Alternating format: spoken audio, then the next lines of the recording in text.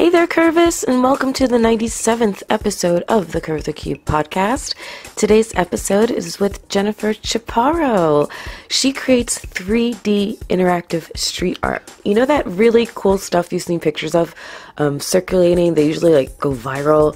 Um, there'll be someone who's drawing a scene like in the middle of the street in Manhattan or something, and it's of Spider-Man jumping between buildings, and you've or or, or a, a scene where it looks like you're standing on the edge of a cliff, like that. That's what she does. She you know does stuff like that, or a kayak that looks like it's about to go over a waterfall that you can sit down in because that's really what she does. She makes it cool. She makes it interactive, and you can sit in it, and it looks like you're about to go over Niagara Falls or something. Or the one she did that I got to try out, which was um, it looked like it looked like I was practicing my balance, my balancing act on a giant Crayola crayon. it was really super cool, and it's a, a just like a new version of carnival cardboard cutout things that you stand behind and stick your face in except these you stand on or sit on and they're on the ground and she makes them and they look 3d and it's and it's it's, it's so ingenious how she creates a 3d image on a flat surface. It's really cool and she talks about how she does that on this podcast. Um, jen is fun. She's extremely business savvy and in this episode she tells her story of how she fell out of the corporate office and into the life of 3d street art. At first accidentally and then with all the drive and gusto of a determined business owner. And she's just was fabulous fabulous to have on. So please go check her out. She does tours all the time um, in the United States, all over the United States and Europe and stuff too. Um, so even if you're not in South Florida, you know, check out her schedule. She may be coming near you. You can find her online at amazingstreetpainting.com. She also has a Facebook page of the same name, and she's on Twitter at JN Chaparro. That's C H A P A R R O. So go ahead and check her out. She's on Instagram and Pinterest as well. I'm sure you can find her pretty easy. Um, and that's it. So sit back and relax and enjoy this, the 97th episode of the Curve the Cube podcast with Jennifer Chaparro, street artist extraordinaire. Bye. Curve the Cube will now initiate. Hello, hello, hi. Hi. Are you Jennifer? Yes, I'm Jennifer. Hi. Hi. How are you? Nice to see you. Is that the one that fell off? Actually, what happened was a woman passed out and crashed into me, and there went Took it my- down with it. Yeah. Oh my And so, and so. I've been kind of babying it along for like honestly like five years, and it's and I think it's done. So Yeah. it needs to be replaced. And this was and I and I was reading reviews, and this thing is like really awesome. My because friend see, gave I can put to it on top of the camera with this, Oh, or on a tripod. Yeah. Yeah, that'd be awesome. And then you've got good, then you've got good give me outs. I know. I need to actually take. Yeah. I know. I don't take advantage. of You're gonna be so mad. Don't don't. get mad at me. I don't take advantage of it like I need to. Well, you sh- so you just take the card out and stick it in your computer. Is that yeah. do? Actually, I don't. I don't even have to. I have a USB cord. I just Okay. connect it directly. Oh, okay. Yeah. I just do a quick data dump. Uh, data dump. Audio dump when I, you know, get back to my computer, and this usually works out pretty pretty quick and easy. This is pretty awesome. I'm glad you like it. Because I had been looking at because I've been looking at this specific model because Yeah. this one's like recommended, okay? Yeah. And it's like you know I can't really tell how big it is, you know. So what do you what do you do that you are are, are in love with tech, um, equipment and stuff? Well, uh, Jennifer does you know travels the world doing these Uh-huh. street painting events. You're going to find out about here in just a moment. Or So maybe excited. You already know that. Mm-hmm. But I chase her around and interview people in the crowd and interview like the other street painting artists, and then I put like a little video together for the event. Yeah. Oh, that's neat. Get like uh, crowd reaction. Yeah, yeah. Yeah, and he's he's done some really. He did one that that actually the one I like the best is the why. He went Yeah, I need to do another one in that If series. if, That's if, if you don't look dated. at I saw that other- one. Did you see Did that? That I saw that one one. I thought that was really neat. because, Because- that's, everybody wants to know why we do it. You know, the reason um, the reason I love that one so much is let me see if I can get this one on. We're getting started. Uh, da-da-da-da-da, I literally and- have a hundred of them on my YouTube. well, the reason the reason that one struck a the reason that one struck a chord with me is because one of my fa- one of my first interviews, uh, one of my first episodes was with a friend of mine named Charles Milling, who is a musician. I've known this guy for years. Super impressed with who he is inside and out, and he said that when he was forming his band, he would go watch musicians play and wait for that moment when he could see their why. Uh-huh. Um, and so he's like, I always, and then I, he's like, and then I would ask them what their why is and just kind of get to know what, why are they playing Yeah. and see if that's the same reason that I have. Yeah. And that's how he felt out his compatibility with, with his band members. And it, would ju- it really struck something with me. And so from then on out, I, I have a tendency to ask people. I don't always remember to, but I do have a tendency to ask people what, what's their why. So I guess that's a good yeah. place to start. What's your why, Jennifer? My why. Um, gosh, that's She just loves art. I well, yeah. I mean, I I love art. I've always been doing art for all my entire life. Yeah. Um, but it it took me until after, you know, I, I was over forty when I discovered the chalk street painting. Right. and um, I kind of did it for fun with my daughter. She was about 14 at the time in middle school at the Middle School of the Arts, and I was just looking for something to do. And we went down to the Lake Worth Street Painting Festival, and we're like, "Yeah, you know, we could do that." Sorry about that. yeah, File was already been open.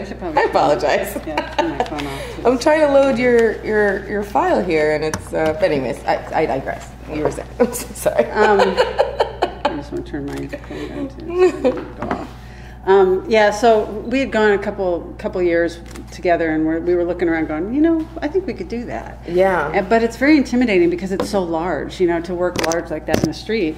And um, so we're like, no, let's try it. And they sh- they actually helped you. They showed you how to do it. They had a little um, info session where they showed you how to make the big templates and everything. And they give you the chalk. Yeah. And it's free. Yeah. So like, what the hell? Let's go do it one Have year. fun. Yeah, Yeah. and it gives you the, you know, it was for me. It was spending a whole weekend with my daughter.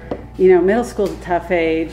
Yeah. And she loves art. She was very art. Both of my kids were very artistic, and I thought, you know, this is really this could be a, a great thing for us to bond with. and Spend the whole weekend together. And and we did it for about four years. You know, we found out we were good at it. We went, kept going bigger. How did you um, share the split the duties of create putting something together? You know, it's it's we just did it. I mean, it's just like you take that face, I'll take this face. We'll just start. See how Gotcha. we- you know, and and we just worked it out, and we worked really well together. Didn't you know? Didn't have a lot of problems, and um, so yeah, we, we did it for a couple of years, and then people started coming up to me during the festivals, going, "Well, I'll pay you to come to this festival we're doing. Are you available?" And I'm just like, "Mm, "Yeah, okay. You're gonna pay me? to do this? Wow. And I'm doing this for free?" And I was like, a little yeah. bit of a light bulb going on. It did. It totally did. And and then I lost my job when Mm-hmm. in 2009 when the, the everything crashed.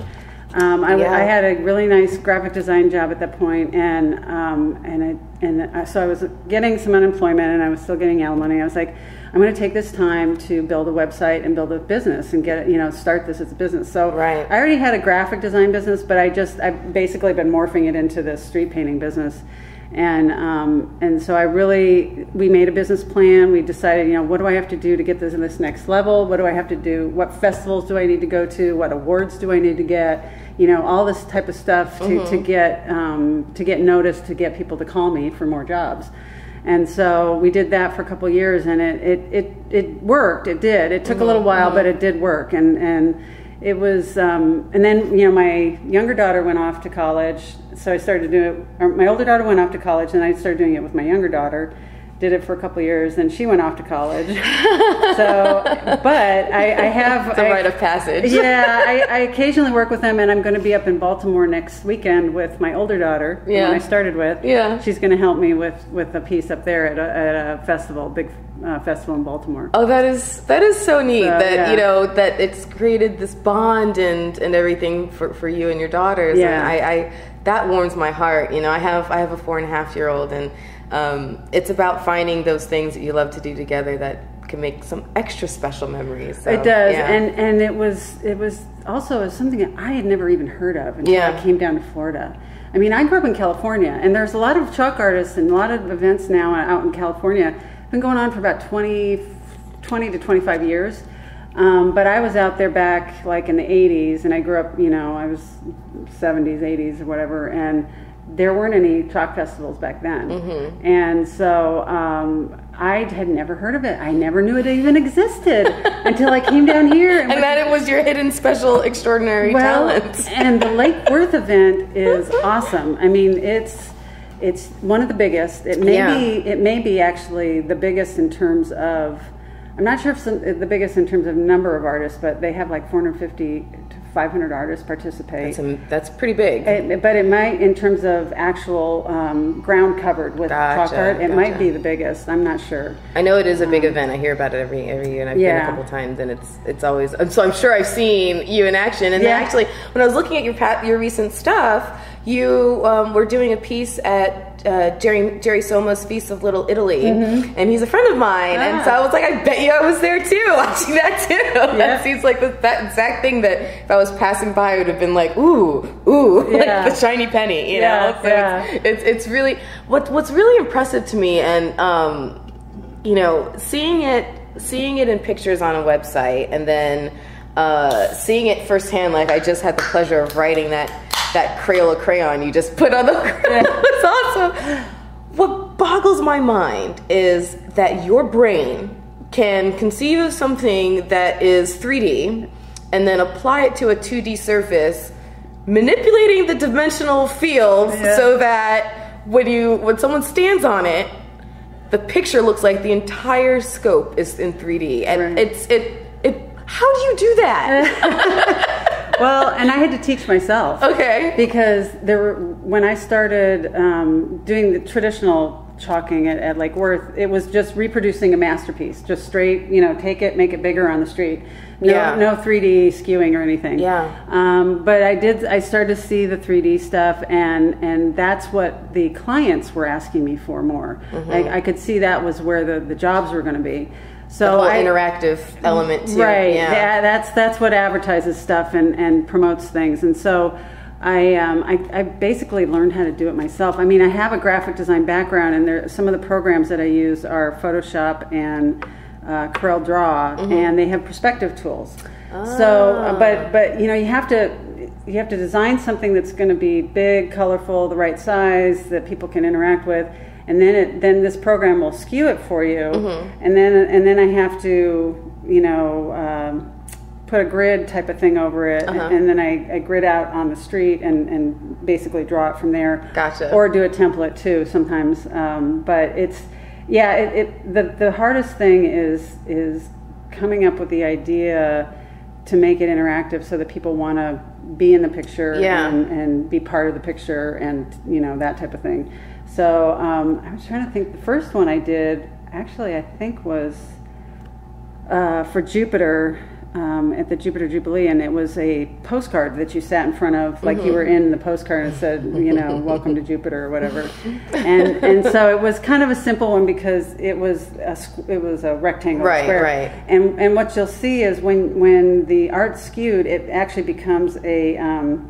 trapezoid. Mm-hmm. So that's you know with the with the postcard, you can see it very clearly Right. what's going on there. Right. But now I've, I've I'm doing a lot more where it's a very free form outline, and you know, like I've got butterflies with the wings or birds, you know, and it's all shooting out in different directions. Yeah, and, yeah. And it's not just a big square. Yeah, know. like there, I saw that you did a setup for Ford where they had the vehicle On it. and it, and it was like on its own car-sized kayak, ready to go off road, uh, a waterfall, and Right. then like that's amazing. And then the next shot I saw it was there were four girls around the car, looking like they were standing on little cliffs. Around. I was just like, that's amazing. Yeah. it's just you know, what it remind, made me think of um, when you go to like a carnival and they had those cardboard cutout things Mm-hmm. and the face is cut out and so people put their heads in the face and you know all of a sudden you're in the picture Right, right. this is this is on like a whole nother level because you you were literally in the picture your whole self Yeah, it's, yeah. it's really really impressive And and there's actually a um, like algorithms and, and ways to do it mathematically, but I am not mathematical at Yeah. all.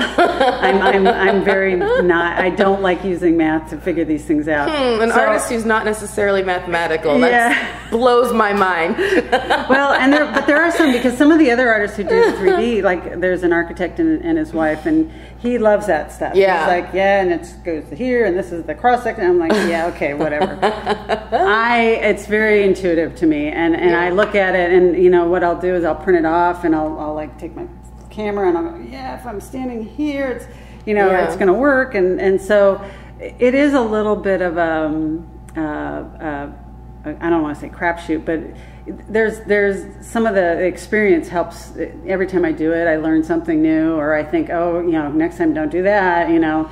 So it, and that's what makes it fun for me is that every time I'm doing it, there's it, there's a challenge to to overcome, and it's different. Yeah. And I always try to do, um, almost always try to do different art. I, I rarely do the same piece of art. I saw that, and, Yeah. and and I was thinking, you know, and and an advantage of putting yourself in a position where you're learning something new in front and, and doing so very publicly. The the advantage on your side is that it's gone in a couple days anyway. so if you do mess up, well, but it lives forever yeah, that's true.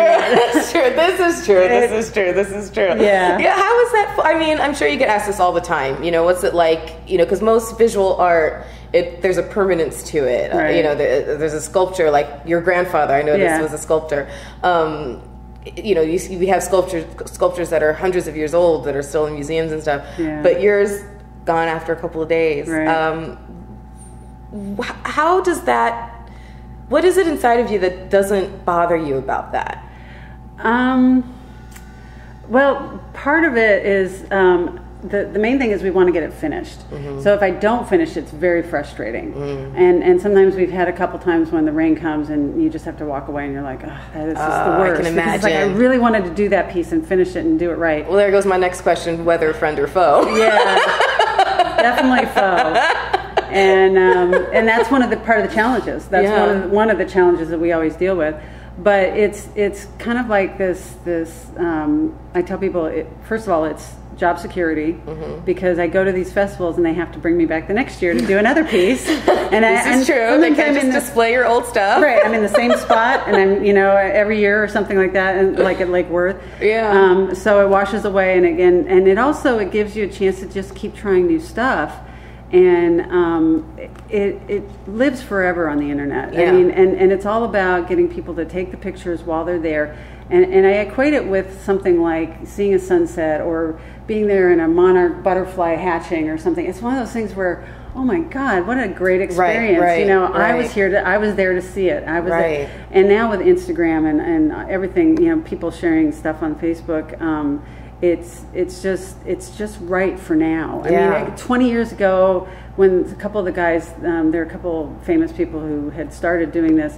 You know, they they they were out there, they were doing it, but it didn't catch on Because there's no way to really circulate it. Right, You right. know, not not And- like and- there is now. Right, and then once started Facebook started really spreading stuff and, and everything, people started sharing all that stuff, and it's it's really created a, a, a market for it or, or helped it become Yeah. something. Yeah, Yeah, I can absolutely.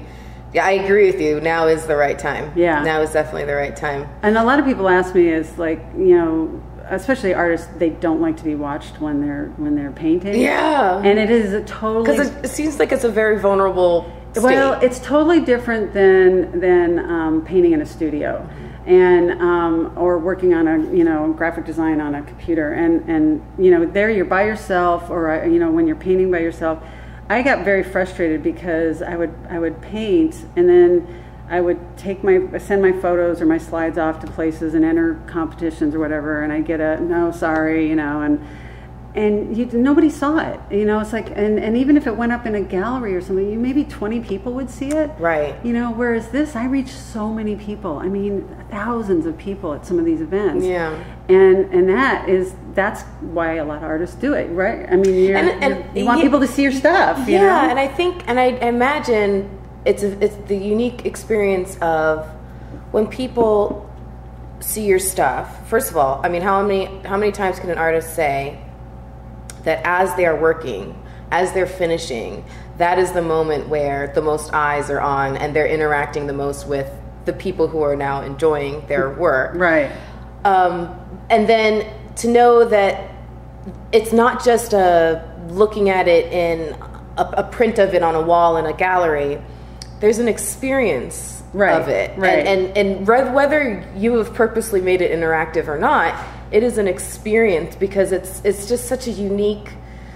I don't know, like you know, walking by and seeing someone pouring their heart out in chalk on the sidewalk. It's it's something that makes you pause. It, it reminds you of something. I don't know. It's, it's, It's really it's really a performance great art. shared experience. It- Yeah. It, it really is because because we are there and people get to see the process, which Yeah. is very unique.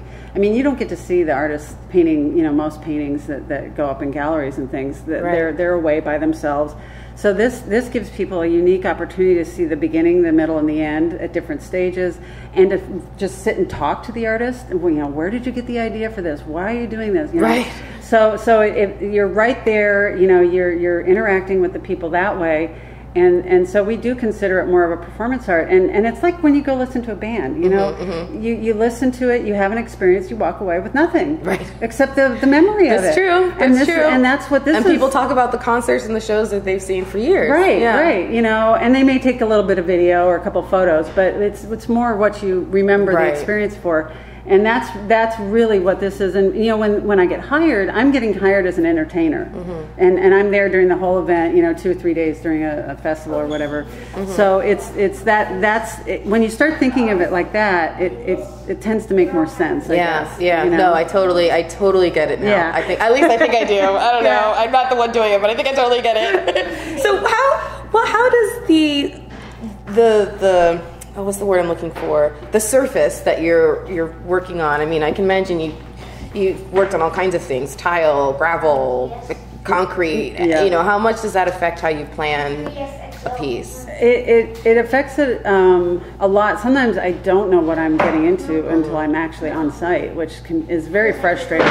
But I try to plan for different, uh, you know, scenarios, I guess. Mm-hmm. And um, it, it, if it's um, the paint that we use, the Tempera, the washable kids paint, helps to create a, um, a surface. It's like gesso on a canvas. It kind of per- Yeah, primes it or yeah, preps it. And um, so that's kind of my fallback because if it's really slick or, you know, like sometimes I've, I've been on granite tiles or, or, you know, bricks and things like that, very slick, chalk's not going to stick to it. So, but if we use that temper paint, it'll help to, to give us a surface to, to actually adhere to. Um, but yeah, it's just, you know, you do, you're there and it, you make it work. Yeah, you know? yeah, yeah. And, and then that's the that's one of the challenges of it. It's it's like I've I've come away with bloody fingers. Oh my you know, gosh. I've, I've ripped all my fingernails off. What? Sometimes I use gloves. Sometimes I don't. Yeah. You know, sometimes it's so hot it melts your fingers because the the Oh asphalt my is hot gosh! black. right, you know? right. Never thought of that. And I've been so so cold too that where I couldn't feel my fingers. I oh my freezing. gosh! and I, I had to, you know, go inside, warm up, and That's then come true back because out. I mean you're working outside the whole time. Yeah, Usually, yeah. I imagine. I do I do do some inside work, but I try to um, really. I, I like being outside on the ground. Yeah. Um, there are some artists who do work where they'll do it on a canvas and then bring it, roll it out, you know, and then people will stand on it or whatever, and it gives the same illusion. But to me, it's not the same. Mm-hmm, There's something about being outside, actually on the ground, and I've had people come up to me and go. Um, uh, we want to buy that, and I'm like, well, it's on the ground. and they're like, no, no, we want to might buy have to that. call the city. I don't think I have anything to do with it at this point. we, we had and one guy had to go back and forth three times. I said, "No, it's on the ground. It's it's physically on Like, the surface, On the ground, let me pick it up for Yeah, you. It's yeah. on the ground. yeah, yeah. It's like you cannot buy it. Oh my gosh, that's so funny. So- yeah, so how what are those interactions like with the crowd? Because I know that must that must be something that you is it something you had to get used to, or something that you always embraced and, and loved? Um, I, I like doing it, and that's that's part of what I like because I, I it's a lot of outreach too. I feel like it's it's um, I love talking to kids. I do workshops now too, where I teach all ages how to do it. Um, it, it's just I enjoy talking about it. I do get a lot of the same questions over and over again, and sometimes it gets a little old. It's like, okay, here it comes. Right, right, and, and, and we, we've even talked about doing shirts with those four or five questions on the back, right, so that right. when we're talking, they can just read the back of the shirt before they ask. But they never, nobody reads. Right. Nobody reads. They just start asking. Um, but yeah, what happens when it rains? You know, why do you do this? Um, yeah, like, there's a couple of them. Is that really chalk? oh, is it really chalk? Is it really chalk? Um, it- and that's because a lot of the ones that I do are, are so the color's so intense and so Mm-hmm. um, um, realistic that it, it doesn't look like chalk. It's soft and well blended too. Like Right. I, like I'm, uh, you know, you've done a lot of, you did a lot of angel pieces, and I, I saw, looking closely at the faces, it's like, it's so soft and well. Uh, I loved it. Yeah. you're so impressive. So, so yeah, I just it's it's it, it, it you know we understand or we we realize that we're going to get a lot of the same questions every Yeah. time, and that's just part of it, you know. Yeah. And it's okay. I mean, it's it's um, it's just part of the game, and um, we. You know the the one thing that I really enjoy about this is that I've connected with a lot of different artists who also do the same thing and we all kind of go to the we meet up at all these different festivals Mm-hmm. a lot and and we all know each other and connected on facebook and stuff too but um, it, we you know we learn from each other we help each other out it's a very um, kind of a nurturing group of people Okay, good. and it's probably worldwide i mean maybe i want to say 200 artists at the most Mm-hmm. and and the ones that do the 3d we're talking probably about 25 or 30 Wow. who really do it at that same level Right, right, right. um, there's not a lot of them um, i think they had yeah maybe maybe maybe 35 at the most but Mm-hmm. um, but it, you know I, I get to, to to be with them and talk to them and we get to see each other and ask each other questions and sometimes we'll work together if it you know something works out and we want to you know I want to work with that artist Mm-hmm. or, or that type of thing so And I also think, uh, you know, I don't mean to cut you off, but I also think it's kind of interesting because any other artists that come together in big groups like that, they're not necessarily doing their art in front of each other. But when you're going to festivals, I mean, you're inches away from, from Yeah. one another, right? I mean, it's like they're like blocked off sections. I Well, and sometimes we're like one of the festivals. We were were literally next to each other Mm-hmm. by we were separated by a piece of duct tape. You know, so you had to be careful not to sit on their piece while you're working on your piece, and you know that type of thing. And, and so yeah, you you get real get to know them very well by the end of the weekend. Yeah,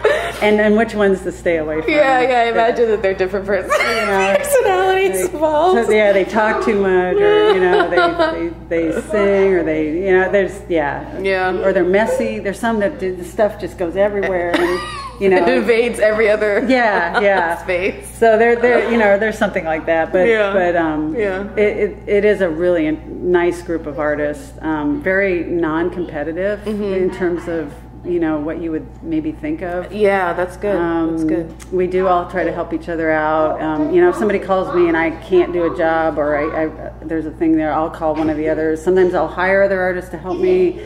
You know, it just if if we have a surface we don't know how to work with, we'll work together and try to figure Yeah. something out. You know, so it's it's um, and and we try really hard to get these festivals not to do competitions.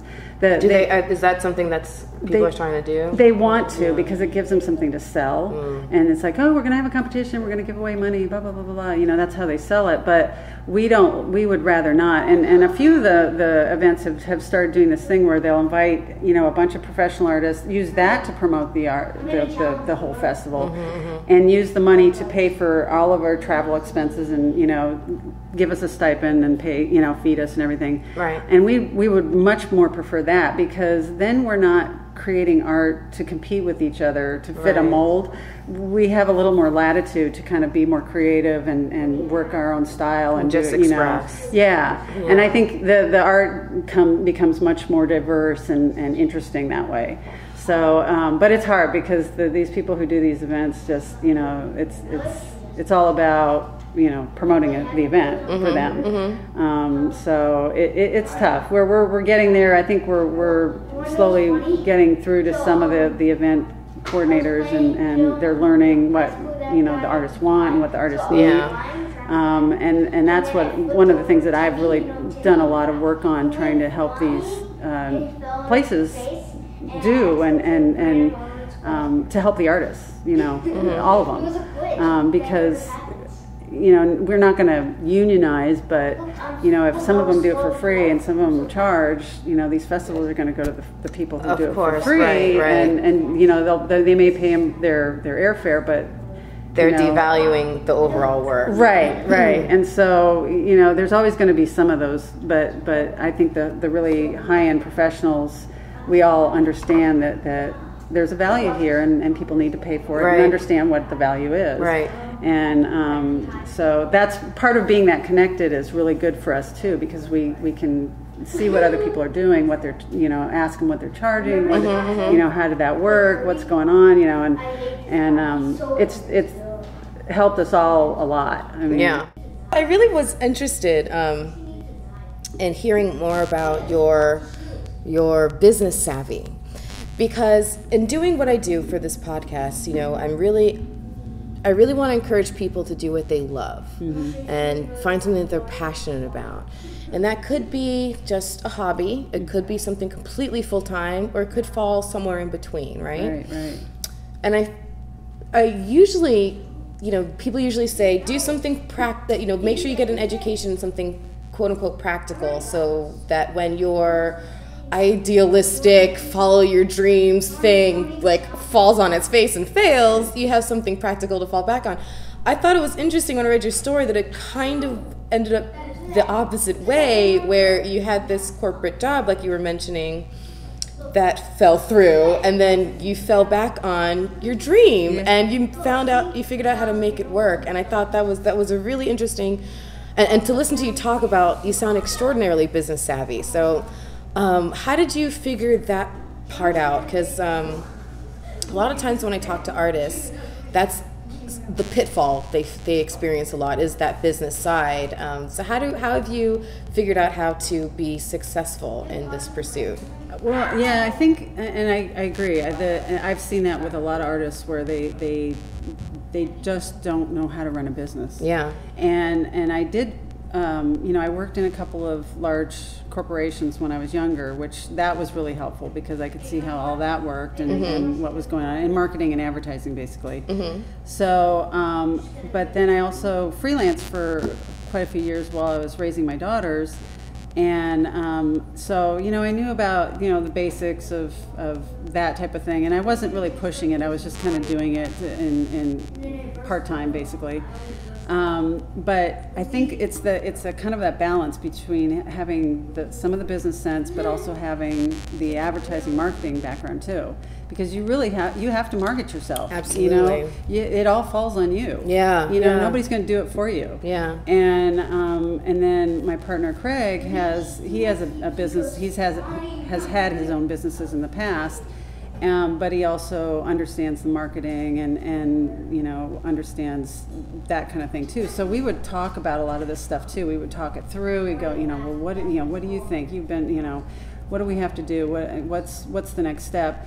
And and he was the one who, who really encouraged me to, to kind of do up a business plan.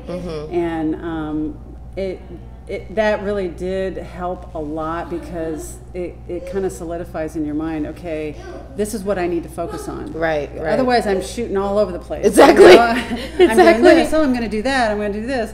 So that really helped us to to kind of focus on a few things and, and get them done in a within a year's time or whatever. Um, even but even just stuff like like getting basic. Um, insurance or or doing an invoice or Mm-hmm. you know I a lot of that I learned from being in a large corporation. I Right. learned how it worked. I learned how you send an invoice and bill people and all that stuff. And I, I don't know. I mean, I, I guess a lot of artists either never have to do that or um, are never, you know, have a job where they have to do it or they learn they don't learn it in school. You know, I didn't learn it in school. I kind of wish I had, but Yeah. I took no business classes. I, I wish I had. But um, yeah, it was just basically learning it by doing it and and, and being around it and, and you know soaking it all up. Right. I did go. Um, I did go back to school f- to try to get an MBA. Um, that was a long time ago. It was like back in 1989, and I did about a year's worth at Pepperdine when I was out in California. Okay. But I got frustrated because because most of the other students were like engineers. And who who really all they did was engineering. You know they they, they got projects they worked on projects they sent them gave them to their managers or whatever. So they really didn't run businesses or know how businesses worked and i already knew a lot of that stuff. Yeah. and so i felt like i was kind of wasting my time. I was like understand I, that. I already know how to do this. Why am i in here?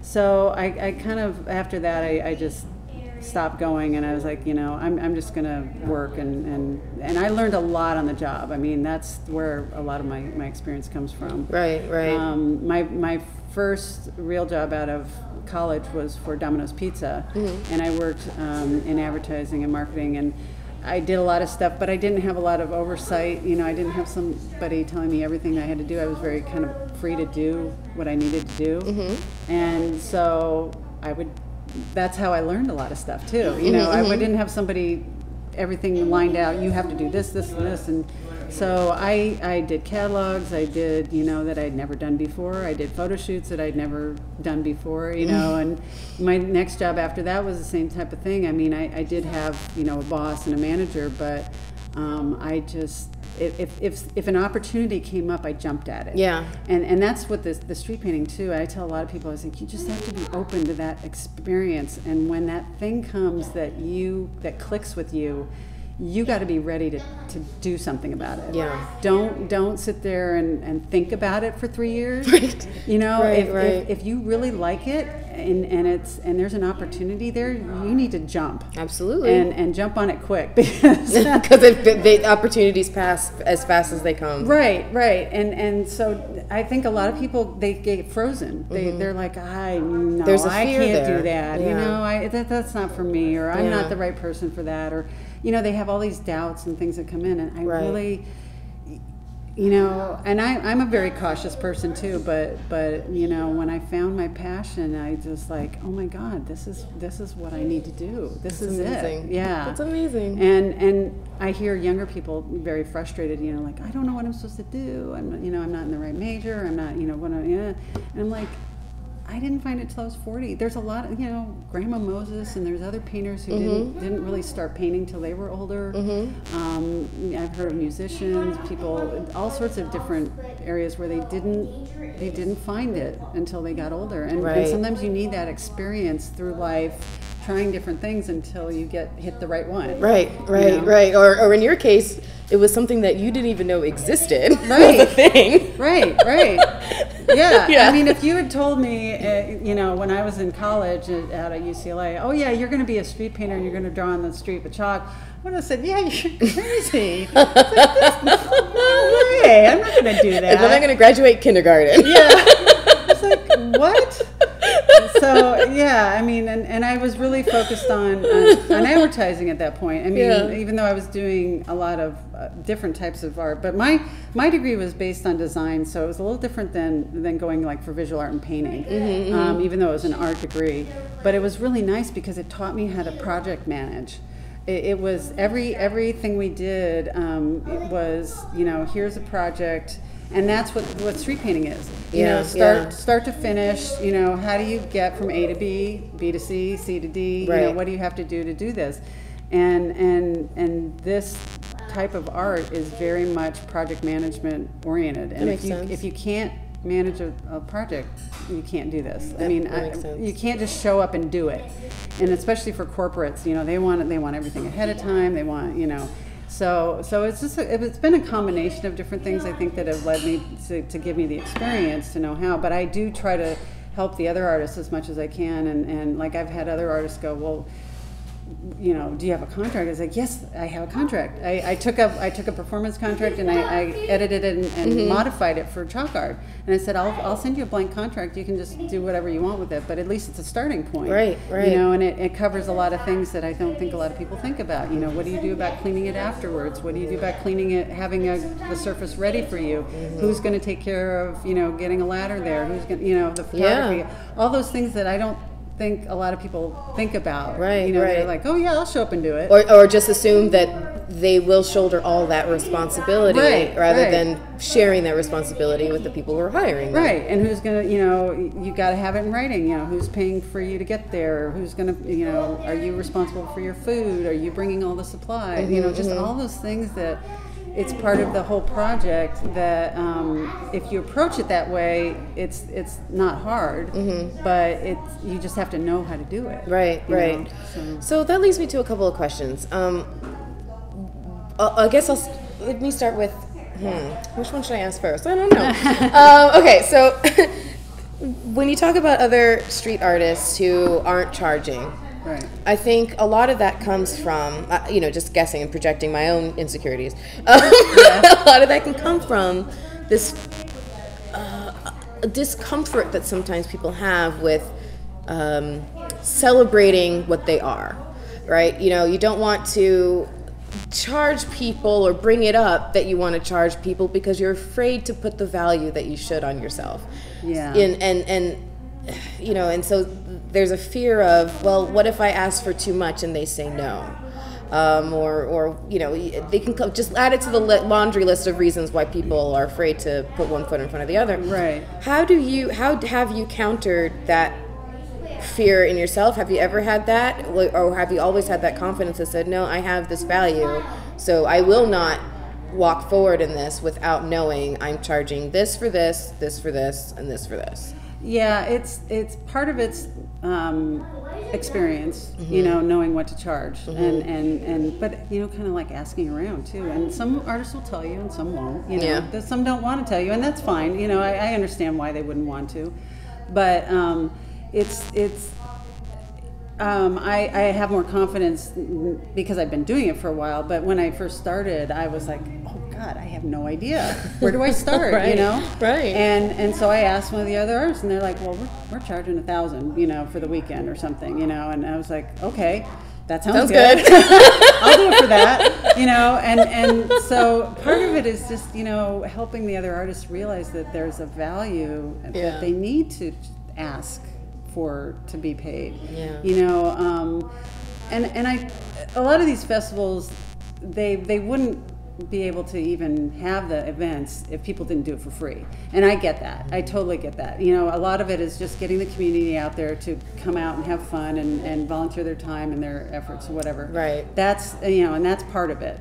But but for the featured artists, the artists who are making a living doing this, they you know, I've been really pushing these these other artists it's like don't underestimate yourself don't mm-hmm. undercut yourself. Mm-hmm. And and sometimes we are bidding against each other for for the same jobs. Right. it's happened and you know sometimes i've kicked myself and gone "God, i didn't ask enough. You know i mm-hmm. should have charged more or or i lost something maybe because i did charge too much. Right. i'm, I'm more comfortable now with if I lose something because I oh, I overbid it Mm-hmm. too high, and I was like, okay, well, you know, but this is what my time's worth. Right, right. And and I'm so busy now that I can do that, and that's that's a really nice place to be. Yeah, and I'm sure something something's not too far down the line that's going to replace that slot anyways. If, Right. if you do, you know, lose something for a particular weekend, I'm sure there's another opportunity that's that's right around the corner. Yeah, and I and there's a couple events that I do for free every year just because of the exposure that I mm-hmm, get. Mm-hmm. And that's the other thing is you have to realize that these are a lot of these are for exposure, whatever. And I hate that word. I hate, that's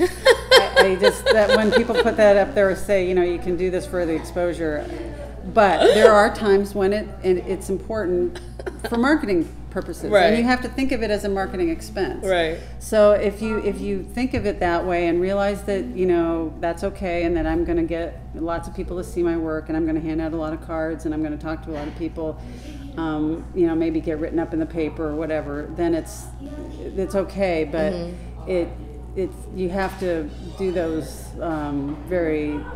You have to know and understand that that's what you're doing and why you're doing it, Right. not just do it Right. you know and and i think um, some of the artists who have kind of eventually gotten more professional they realize that too you know they they realize that they, they've got to charge a certain amount this is what it costs to do it you know and and you get so busy it, you, you just you can only do so much Right. so Right. um, but yeah, it's it's there. There's some artists who just do it because they can. They'll they'll pay all the travel expenses and they get to go places, and that's okay with them.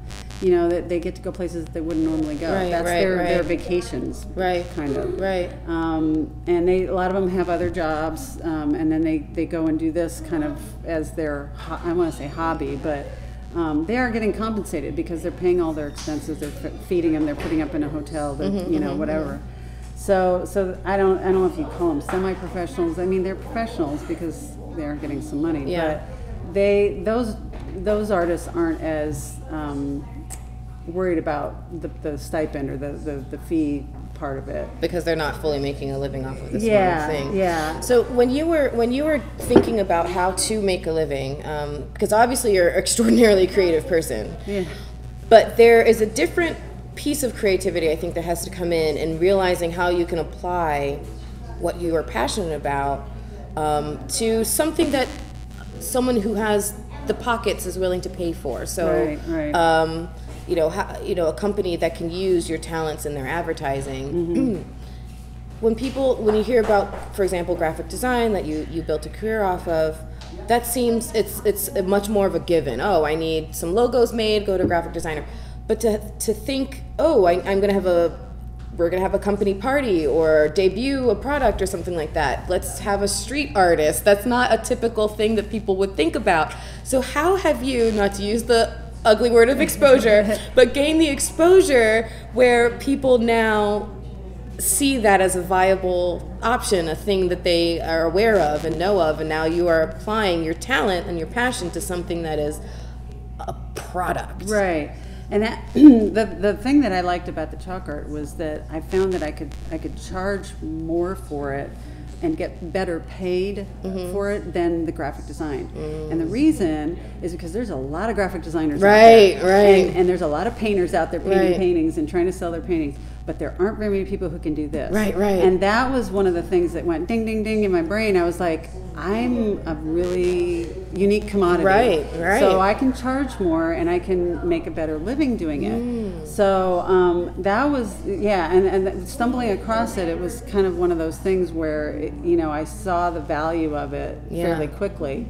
And, and took advantage of it, you know, and like I said, Good for you. It would have been it would have been really easy for me to just say no, I'm just going to do this for fun, and I'm going to go to these different festivals. But I was like, no, no, there's an opportunity here, Right, you know, right. so, um, and then one of the, our, our things in our business plan was to get on uh, all the search engines. So when people Google up 3D street art Mm-hmm, or 3D chalk art, that we would, the more we were out there, either with videos or photos or whatever, that it would rise to the top and- and, people would find it. Exactly. So, and then, and the other thing in my business plan was to do a variety of different ways of showing the chalk art so that when the client looked at my website, they could say, oh, yeah, that's what we want. We want something sort of like that. Right, You right, know, right. When you don't have that, it is a lot harder to sell it. Right. So, so that was part of the, the plan too. Making it easy for the other for the end user to see the vision that you were right, trying right. to sell them. Yeah. And it's like you know when you're doing product tasting or whatever, it's like you, the minute they taste it, it's like, oh yeah, this is great. I'm right, going to buy this. Right, I mean, right, it's the right. same thing. Right, exactly. Yeah. Exactly. So, um, so yeah, that that was a big part of it. Um, Yeah. Well, um, I, I'm super impressed with with you and your talents and, and where you're fearlessly going with them. and I, I, I would be um, remiss if I didn't touch on, you know, because you've done a lot of traveling with this. Yeah. And you've, you've, you've managed to see a lot of the world. Had you done a lot of traveling before you discovered chalk art? No, and that was one of the reasons I did it. Mm. I, I went into this too was because I wanted to travel. Yeah. And and I had stayed at home with my kids for quite a few years, and I was married at the time to a, a neurosurgeon who could never leave town because he was always on call. Right, right. it was- Again, one of those. It was very frustrating. there aren't a whole lot of them, so. right, and it was it was very frustrating because I wanted to go places, I wanted to take the kids places, I wanted to travel. Right. So we didn't, and then I got divorced, and and I you know this st- started to pop up, and I and I started seeing the festivals in different areas, and I'm like. This was this will give me a chance to travel, and Yeah. it'll pay all my expenses. Yeah. and it's a really unique way to travel too, because when we go, um, we get we get to interact with the people who live there and are organizing the festival, or you know, um, talk to more of the local type of people rather than doing the tourist type of stuff. So um, it's it's just a much different experience, and we enjoy it. Craig and I enjoy that much more than, than being a you know going on a bus and you know touring. Right, right, right. So More immersive experience. Well, yeah, and I don't always get to go see what the typical tourist type stuff is, but I still get to go someplace and, and kind of experience it in a different way. right, right. So, um, and, and the other thing is, it, these chalk events are usually in a nice place with good weather. Yeah. Most of the time. Except for those occasional times when you do freeze your fingers, like you mentioned before, right, or, burn melt them, right? yeah. But but uh, in general, Right, it- right, it's right. usually a good time of year. Where are some of the places you've been? Um, well, I've been to Germany three times Mm-hmm. the last three years. Uh, I've been to Ireland, um, and I've been to Curacao twice. They, Wow. they had an event down there, and we went for like a, almost a week. And sometimes I'll be there for almost a week at a time, depending on if I'm doing workshops too. Mm-hmm. And um, I've been all over the U.S. I've been to Wyoming a couple times, um, doing pieces there. I've been to um, Missouri. Um, Branson, Missouri has a really nice um, theme park there um, that I've done. I was there for actually a couple weeks in a row um, doing work there um, all over. I mean, yeah, almost, um, you know, California, Georgia, I'm going to say at least probably 10 different states. Wow. Um, Canada. Um, yeah, so it's, a- and there there's events all over the world now too.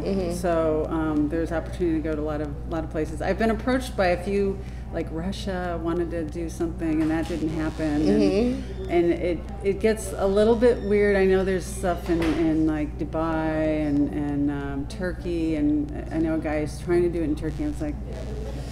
Well, you know, I think I would go. Right I'm not sure. Yeah, yeah. So, but but Check back in a couple of years. yeah, you know, and how do you transfer the money, get paid? Oh, that's true. Someplace like Russia is a little bit sketchy. Yeah. You know, they won't, they don't let money come out of sometimes in those those countries. So, um, but the you know the ones that I've been to so far have been awesome. I mean, Mm-hmm. it's just been really good experiences and um, just really met really great people and.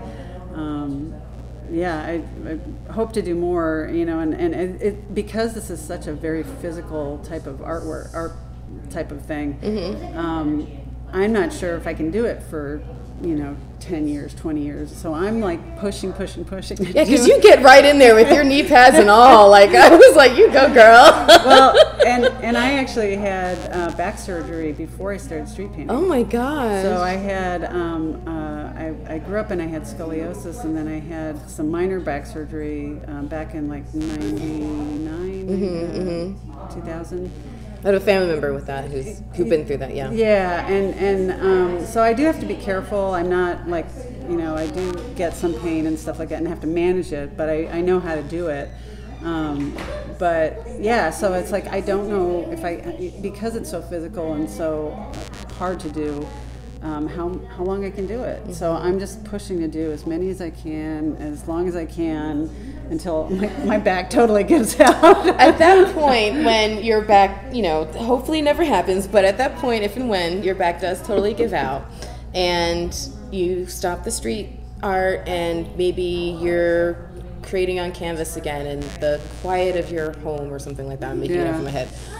What will? What do you think your expression, artistic expression, will be different in those quieter times than they are now with the crowds all around you as you were? Um, I don't know. I, I, I, I am doing more murals um, just because I've gotten opportunities to do them. And um, like I'm going to be doing the, the big one down at Canvas. Um, so I'm Oh, one wow. of the seven artists who are going to be in that local Oh, that's so showdown. neat. So that's like three sides of a, of a shipping container. Yeah. And um, that's going to be a big project. It's a it, it's still physically demanding to do murals because you're up and down ladders and you know it's not totally like just painting on a canvas. Right. I think you know eventually maybe I'll I'll, I'll just have to switch to, to go back to painting and you know inside on a canvas or something like that or walls maybe. Um, but it's and then immediately throw paint over it when you're done and start over.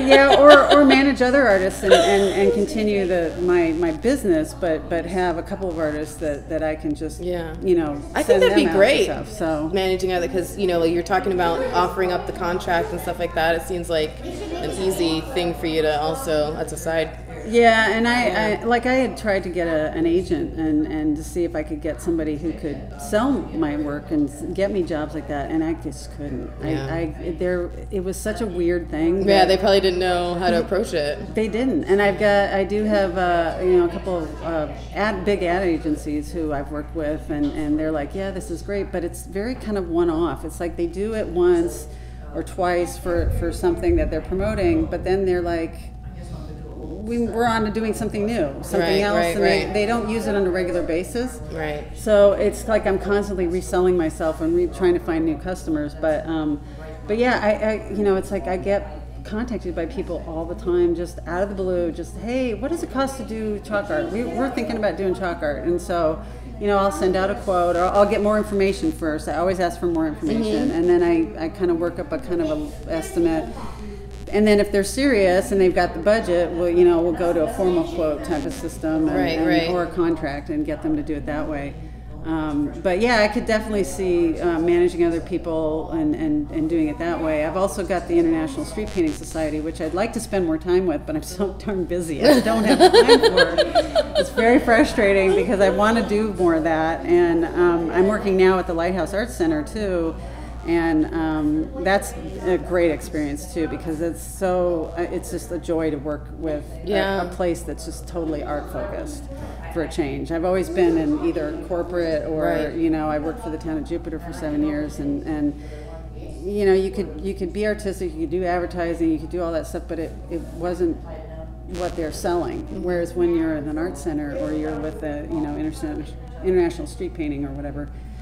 That's what it is. That's the core of Yeah. the, the business, and so um, I've always been trying to push towards that, and so it's really neat to be working there. It's it's um, been one of my goals. That's amazing. that. So, where can people find you if they want to be in touch with you about street painting and looking into your services and stuff? Well, Amazing Street Painting is my website, so amazingstreetpainting.com. um, and all the information, and there's contact information on there. So if they need to get a hold of me, that's probably the best way to do it. And it's easy to remember and find on the internet. Yeah. Um, so yeah, and, and I, I you know there's a there's a contact information thing on there. Um, that's probably the best way.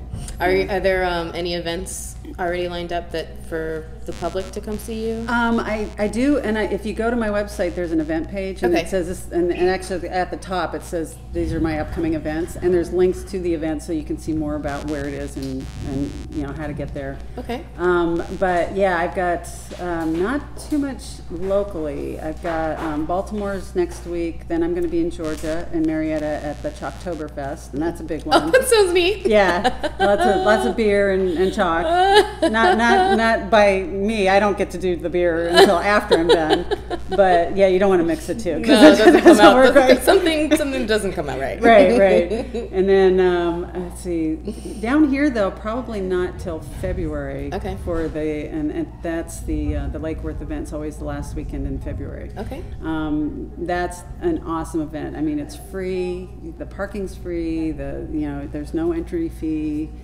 You can come as many times as you want. It's really it's a great event. And I'm uh, usually on um, Lake Avenue. Oh no, Lucerne. Lucerne is the one near the post office. So I'm usually on that street with the featured artists. Um, and then I'll be at the, the canvas thing, which is that first week in November. So I'll be painting that, and that's going to be in Northwood. Okay. So, um, and if I win, I get to do like I guess paint on a regular wall. Um, you know, so they, Uh, they like something more like a permanent. Oh, yeah. okay. So they've got seven of us who are who are going to be doing the shipping containers, and then people are going to be voting on an app, I think.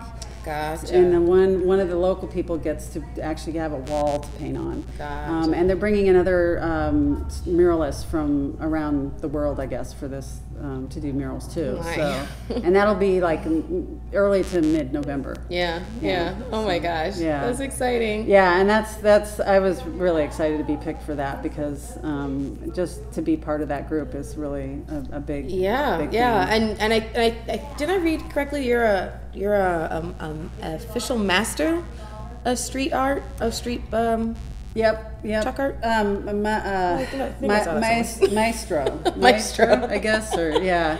Um, the the Florida Chalk Art Association has levels that you can do, and there's three levels, and you have to submit certain amounts of things to prove that you're Yeah. a master of the, those things. You Yeah. know? And that was part of my business plan was to to get to that level of certification Yeah. to show people that I was, you know, a master. There you go. Um, and uh, you know, it, it involved a couple different things. Like you had to chalk different types of things. You had to show um, that you wrote an article, that you won awards. You know, different different things at different levels. But um, that was, you know, again, that was one of those things we thought, well, you know, that would help sell myself. Of that, course. that I have this official certification. right. Right. Not that most people know what it is, but. but still, you can say I'm a master. yeah. I mean, that's pretty awesome. Right. Right. well, I have. I've been super privileged and thrilled to uh, sit with a master. I have. Um, there's a term that I, I coined called a curvist, and a curvist is someone who thinks outside the box, doesn't um, necessarily confine themselves to one path in life, and if they discover something they're passionate about, they go for it and curve the way around the obstacles and Yeah. figure out how to make it happen.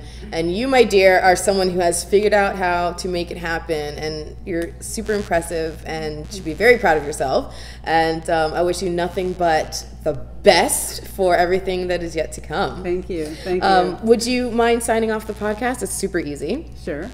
All uh, is it Chaparro? Chaparro, Chaparro. Chaparro. So, um, however you would like to introduce yourself, you can just say, um, "I'm Jennifer Chaparro with Curve the Cube." Okay. I'm Jennifer Chaparro, and this is Curve the Cube. Yay! High five. You Thank go, you. girl. You're great. Yeah, thank, you so you. much. Yay, this was fun. You have successfully curved the cube. So I hope you enjoyed that 97th episode. 97, oh my gosh, we're almost out of double digits, guys. It's so exciting. Um, yeah, so I hope you enjoyed that episode with Jennifer Chaparro. She's fantastic, isn't she?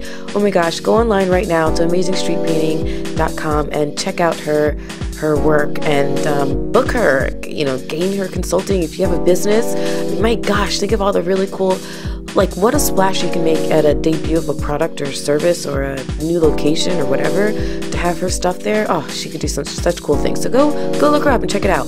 And this episode of curve the cube is sponsored by the lovely lovely lovely miss janice massey of the janice massey salon. I have no idea how she came up with the name of her business but there you go. Um, she does natural hair. That is her specialty. She is uh, currently in charge of maintaining my own locks and she does a fantastic wonderful job. And she's really the best game in town so you got to go look her up. Look up janice massey hair or uh, natural hair by janicemassey.com and get her services because she is fantastic. And she's a really great lady too and wonderful person human being and you always want to support support good good people girl power all of that. So go look her up um, thank you to DJ John Hitta for the music bed. And I also want to give out a shout out to our sister show, the Vivid Arts Podcast. Vivid Arts is a podcast hosted by our friend Eddie from Eddie uh, from excuse me from EG Labs. They are connecting creative geeks with artists, performers, creative influencers, travelers, and the arts and culture community as a whole on that podcast. And it's really, really amazing because South Florida is bursting with talent, and Eddie is very passionate about bringing you insightful conversations to inspire you, yes, you, to pursue your own creative dreams and passions. So take a listen to the Vivid Arts podcast. You can find Vivid Arts at vividartsapp.com, SoundCloud, or on your favorite podcast app. They want to help you discover, share, and grow your own creative passion. So go check them out. They're really, really great podcasts. They're they're a few episodes deep now, and they're they're just doing so well. So so excited for them. And I also want to please ask you to subscribe to Curve the Cube if you liked what you heard today on I hope you did on iTunes or your favorite podcast app. I would really appreciate the extra step though of a comment, rating, or review too to um, help me keep help keep me posted on you know how you guys feel about the show and what you like and what you want, etc., etc. So please do that. And I'm gonna close out this um, episode with an intro to my other new podcast project called Eggheads After Hours, which debuts tomorrow, Tuesday, October 4th. So look up Eggheads After Hours on iTunes. That is the best place to find them. Or go to Eggheads AHP, stands for After Hours Podcast, uh, dot com, eggheadsahp.com. All right, bye. Welcome to the Eggheads After Hours podcast. Join Jemmy, Aaron, Kate, Joe, and Eddie as they talk about all things tech in Palm Beach County. Our co host talents range from podcasting to web design, blogging to vlogging, digital marketing to tech conferences, and so much more. From the latest in global tech trends to what's popping right here on Clematis Street, the Eggheads are exploring where the geek meets the ground running, putting tech into our community and the community into our tech. Follow us everywhere at Eggheads AHP. It's the Eggheads After Hours podcast.